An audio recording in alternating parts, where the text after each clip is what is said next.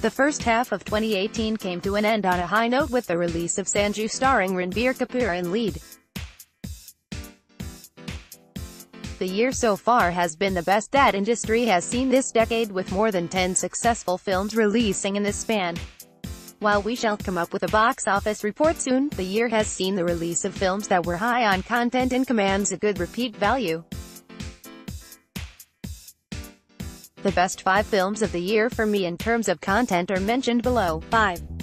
Raazi, rating, 3.5 stars, starring Alia Bhatt and Vicky Kaushal in lead. Raazi was the a well-written film that narrated the story of an Indian spy. The film had ample of patriotism, which was blended with a strong emotional subplot in the film. While the first half was near flawless the director took a lot of creative liberties in the second half which diluted the impact. Nonetheless, Raazi is one of the finest Bollywood films of the year till date. Point 4.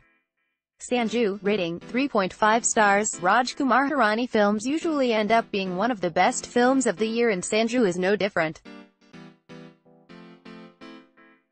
Starring Ranbir Kapoor and led, the film took us through a roller coaster ride filled with laughter and emotions. Although we can't vouch for the authenticity of the content with respect to the fact, the film despite a few flaws, left us entertained throughout the runtime.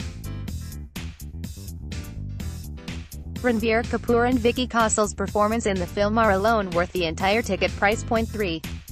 Sonu Ke Titu Ki Sweety, rating, 3.5 stars, this was indeed the biggest surprise of the year. Directed by Love Ranjan, the film focused on the bromance between Kartik Aaryan and Sunny Singh and proved to be a wholesome entertainer. The quirky one-liners and out-of-the-box situations kept me hooked throughout the film. The film doesn't quite have a strong content, but nonetheless a true entertainer in all aspects. Point 2. Raid, rating, 4 stars, after Golmaal again, Ajay Devgn delivered yet another successful film in the form of Raid directed by Rajkumar Gupta. Based on a true incident, the dialogues and watertight screenplay was the USP of the film. The strong screenplay was supported by intense performances by Ajay and Saurabh Shukla. Raid was a prime example of making a good commercial film, and deservingly is one of the best films of 2018.1. Padman, rating, 4.5 stars, this is one film that should have performed better at the box office. It was brave film directed by R.